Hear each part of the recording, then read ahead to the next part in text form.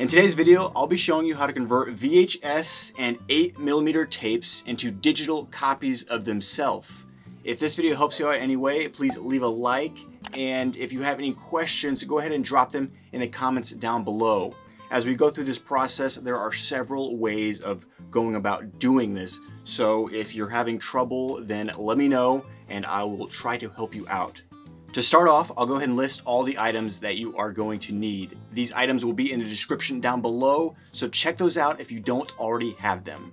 The first item you need is a computer or laptop of any brand. It doesn't matter if it's Apple or if it's Windows. The second item you're going to want to have is an HDMI cord. HDMI cord. The third item is a converter. This converter is an AV to HDMI converter. As you can see, it has the three colors, yellow, white, and red. And then on the other side, it has HDMI. This other cord is just its power cord. That's, what's, that's what powers the actual block itself. Now the fourth item, depending on what you are converting, if it's VHS or 8mm tape, we're gonna go ahead and start with the camcorder. The fourth cord that you need is a AV camcorder cord. They all look pretty similar and this one is going to have a 3.5 millimeter jack on one end and then on the other end it will either have three or two colors. My cord is not as good and I only have video and left audio for my cord but the, the cord in the description down below will have video, left and right audio. The fifth and final item that you need is just regular AV cords. So these look just like so, and they have red, white, and yellow on one end, and then red, white, and yellow on the other end. You are also going to need a way to play back these tapes. So if you have a camcorder, then a camcorder will do. If you have a VHS player, then a VHS player will do. If you have a VHS camera, that will also work as long as you have the proper cords.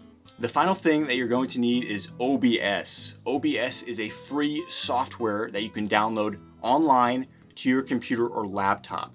There are thousands of videos out there about OBS and how to use it. It's pretty simple, but I will go ahead and show you the basics here momentarily. This portion of the video will show how to convert an 8mm tape into a digital format. The first step you're going to want to do is take your tape and put it into the camera.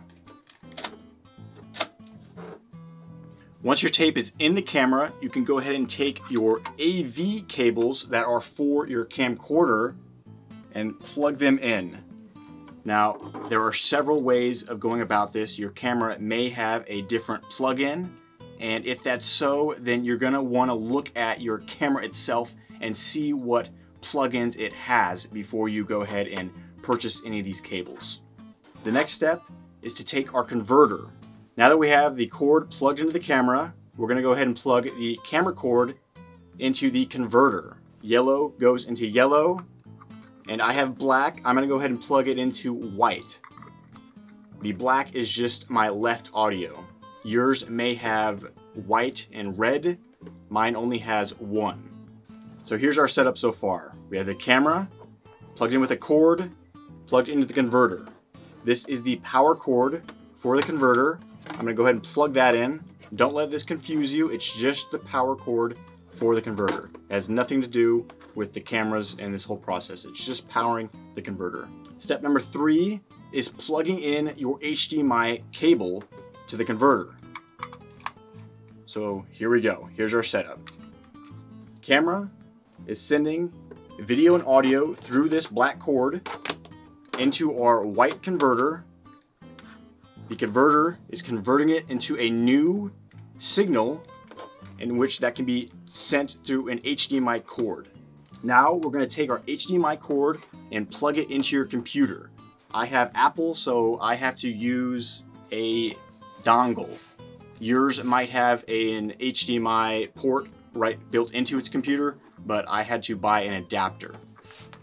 My camera is now plugged into my computer, so what I'm gonna do now is open up OBS. If you've never used OBS before, then upon opening for the first time, it may walk you through some setup steps. I'm unsure, but once you get everything set up and ready to go, you're gonna wanna go down to the bottom left corner where this plus is and click, click it, click plus.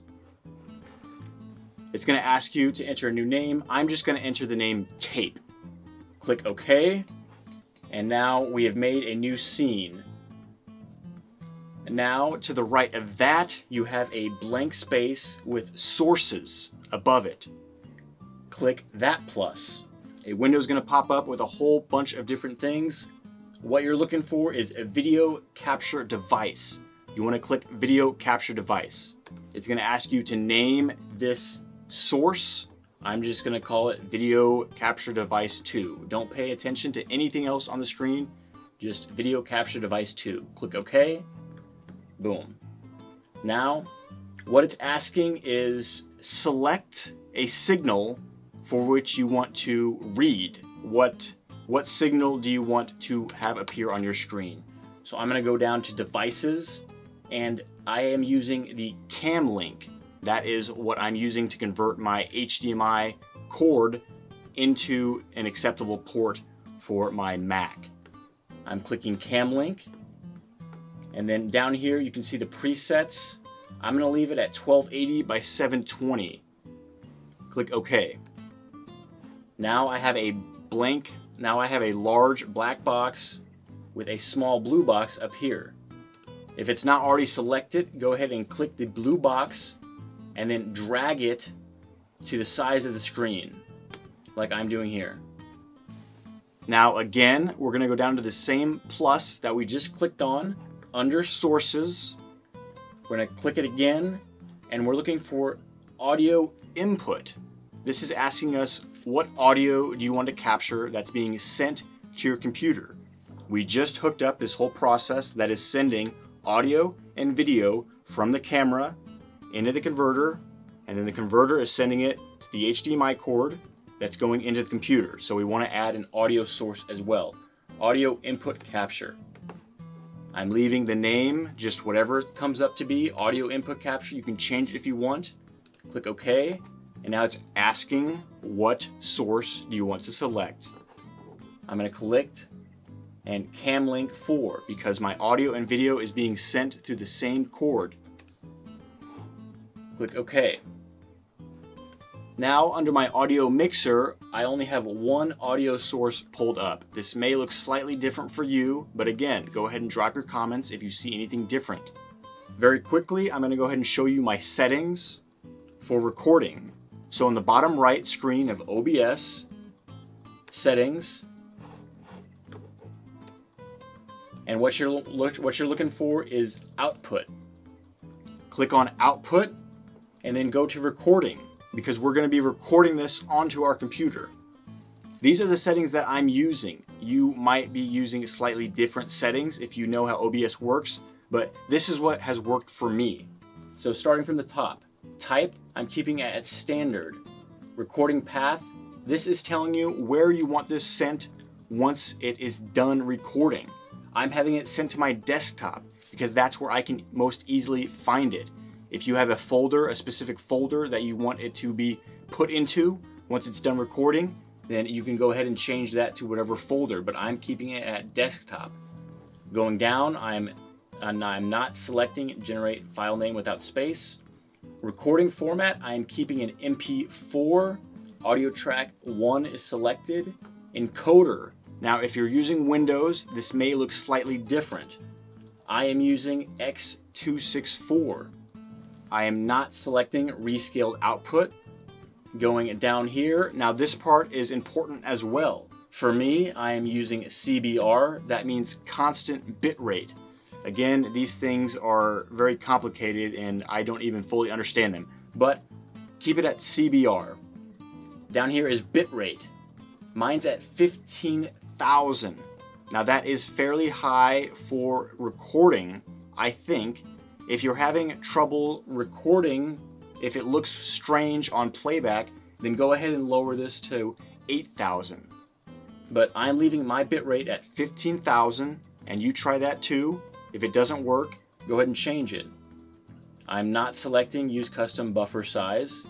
Keyframe interval is two. It might be zero at first, you wanna change it to two. CPU usage, very fast. Profile high, tune none. Once you do that, don't forget to click apply in the bottom left and okay. One last thing I wanted to mention was below audio mixer, go ahead and click the gear icon and click advanced audio properties. Ignore game sound and wave mic. We're only looking at audio input capture. For me, I want to make sure that only track one is selected. Just like that, track one selected. I also want to make sure that monitor and output is selected. This allows you to hear the audio through your computer to kind of just make sure that it's picking up.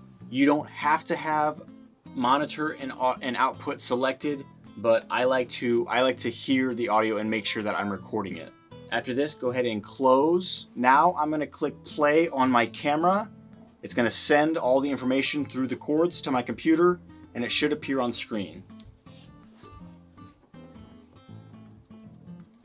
There we go our pictures appearing on screen and I can see in the audio mixer and I can hear it that there is audio coming through.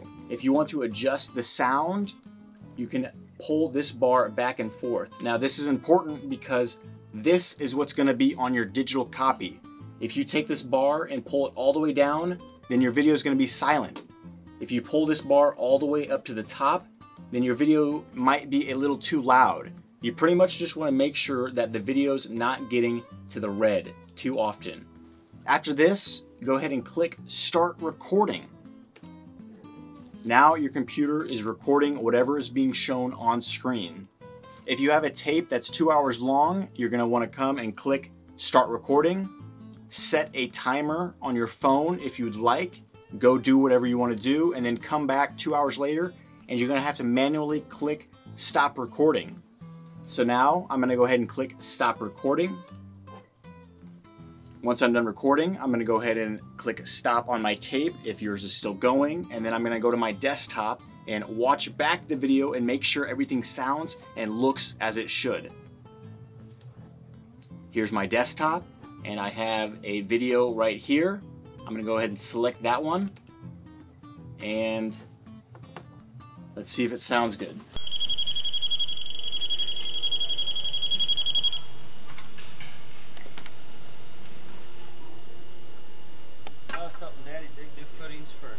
Mm-hmm. There we go. Everything sounds and looks as it should. Once it's in that digital format, you can put it wherever you'd like. But if it's a family video, I might suggest making two copies of this. Now let's go ahead and move over to the VHS tape. These are almost identical, but the setup is slightly different.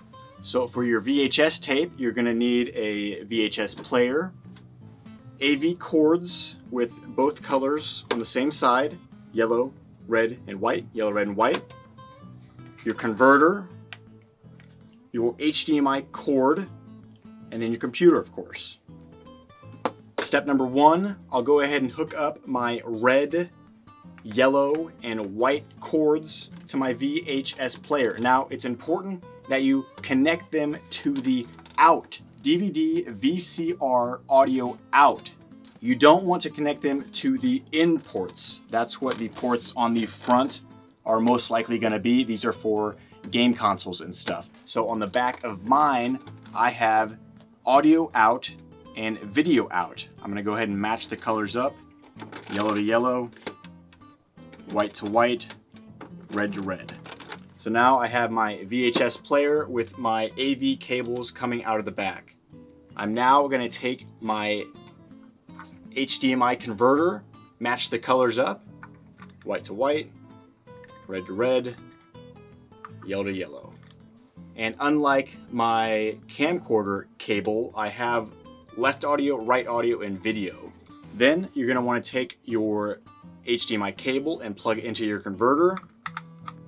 And then if your converter is powered, make sure you plug in the power cable.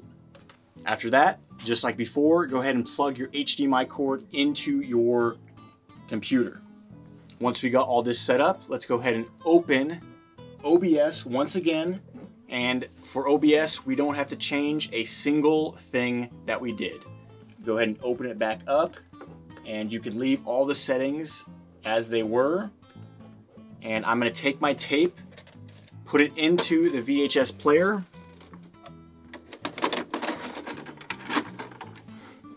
And then once we click play, we should see it appear on screen.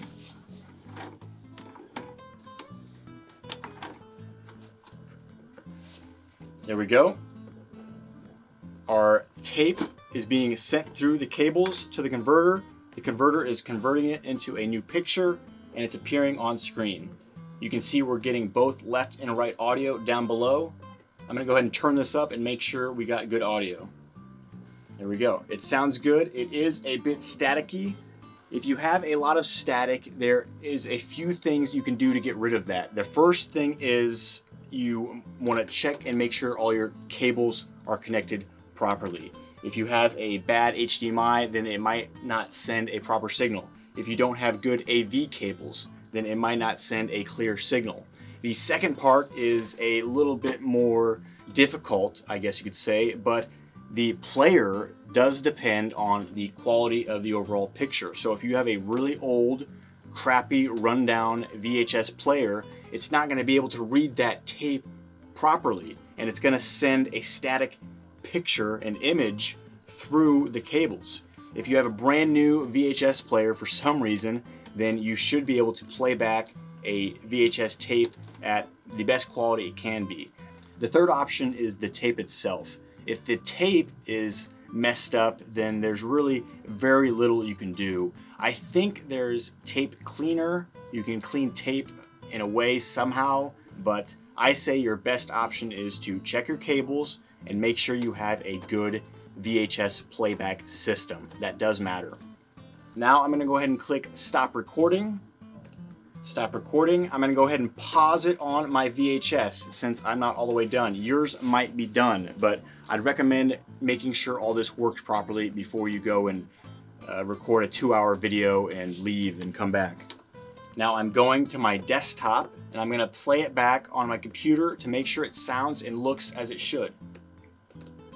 Father, what blessing it is today for me to be here, for all of us that are here for this covenant. There we go. It's real grainy, but that should go away after a while. Again, that's probably just the tape. If the tape's corrupted, then there's little you can do.